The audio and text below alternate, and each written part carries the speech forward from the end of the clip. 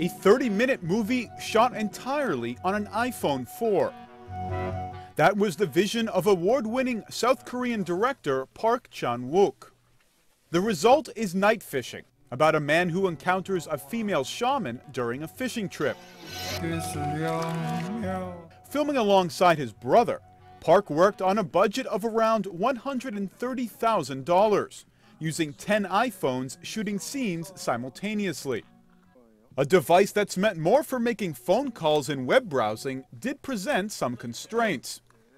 But Park said he turned those to his advantage to create something that's quite unlike any other movie.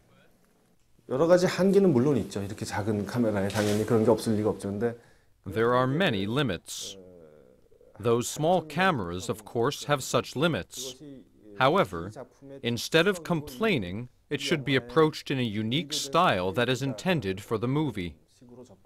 Then it can have better results than any other movies.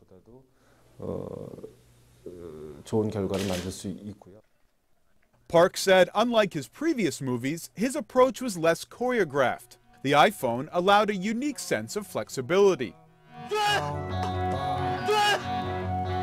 He hopes the movie will inspire younger filmmakers to look at the popular gadget as an artistic tool. Night Fishing is set to open in nine South Korean theaters in late January. David Botti, Reuters.